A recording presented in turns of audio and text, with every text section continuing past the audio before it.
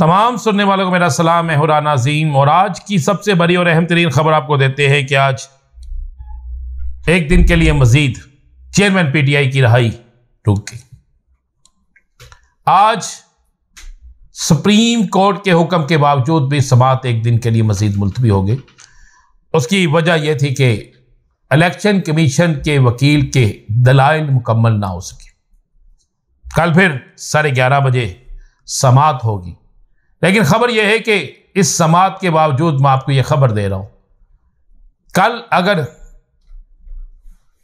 Chairman PTI की bell ना हुई तो मंगल तक चेयरमैन पीटीआई तो शाहाना केस से लाजमन बरी होंगे। यह खबर आप मेरी नोट कर लीजिएगा। चेयरमैन पीटीआई मंगल तक तोशाखाना केस से बरी होंगे। एक और खबर खबर आ चुकी बेानतहा खबरें हैं।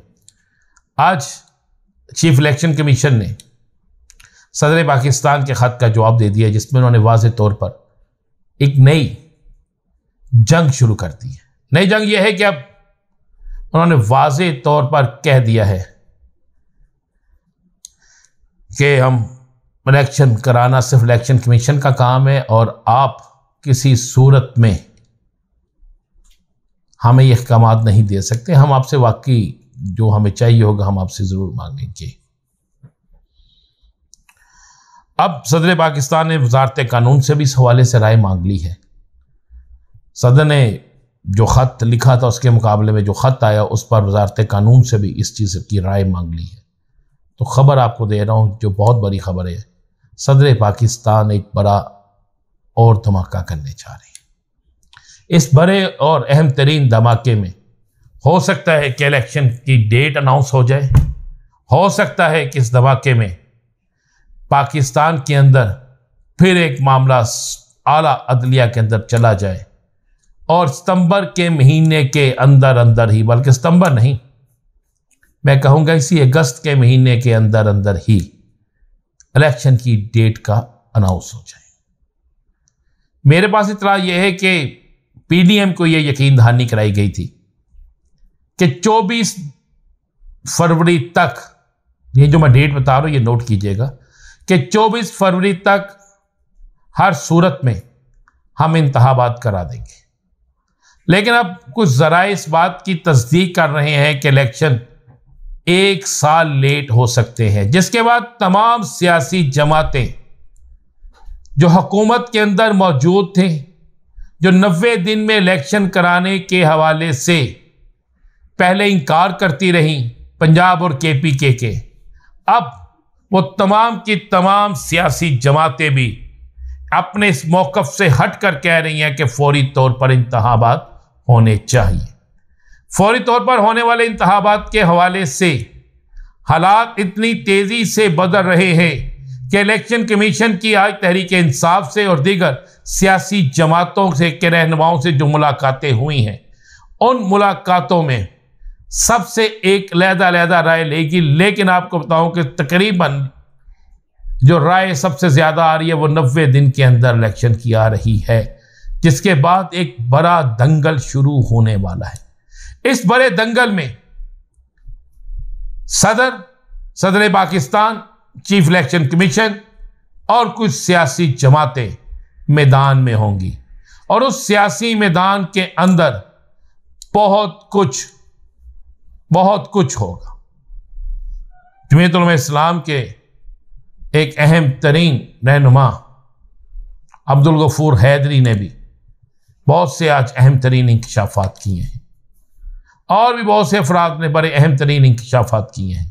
लेकिन इन तमाम चीज़ों के बावजूद भी मैं आपको बता दूँ कि पाकिस्तान के अंदर इलेक्शन अगर लेट हुए तो एक ऐसी बड़ी तहरीक चलती हुई नज़र आएगी, जो तहरीक जिसका रोकना किसी सूरत मुमकिन नज़र नहीं। ये तो सियासी हालात है, मैंने आपसे कहा है कि कप्तान की जमानत हो जाएगी।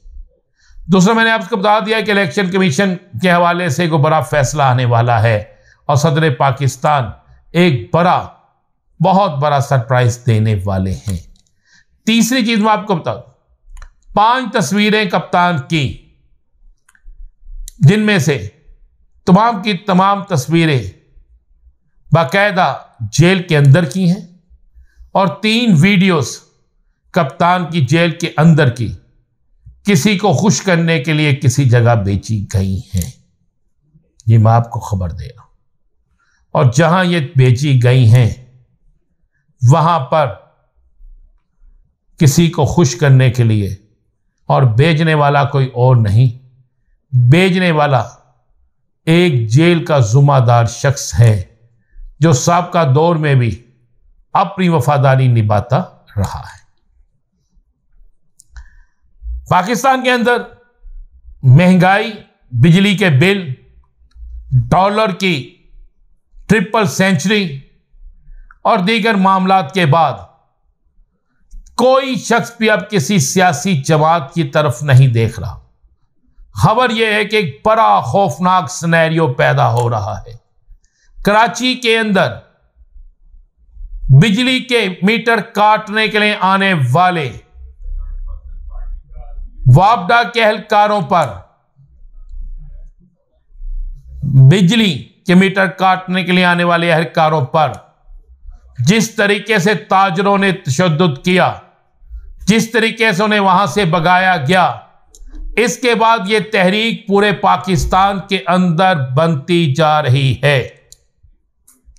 और आने वाले दिनों में अगर लोगों ने वाकई बिल देने से इनकार कर दिया और वाकई ये कोई तहरीक बन गई तो फिर आप जहन में रखिएगा कि आने वाले दिन इस कदर मुश्किल हो जाएँगे।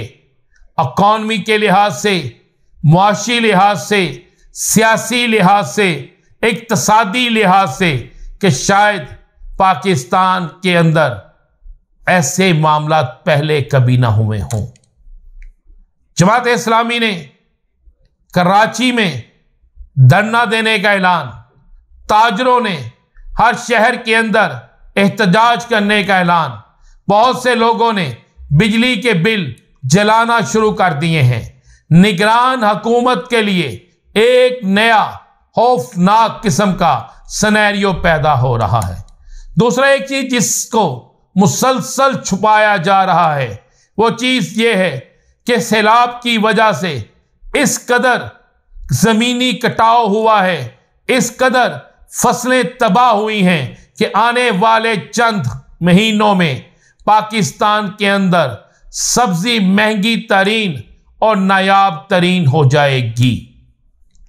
चावल महँगे, नायाब हो जाएँगे। फल नायाब और महँगे हो जाएँगे। इसके बाद हकूमत के लिए सर्वाइव करना, चाहे कोई जमहूरी हुकूमत हो, चाहे निगरान हुकूमत हो, उसके लिए सर्वाइव करना मुमकिन नहीं होगा। ये थी अहम तरीन इंफॉर्मेशन जो आपको तक पहुँचाना इंतहाई ज़रूरी थी। इजाज़त दीजिए, अल्लाह हाफिज़।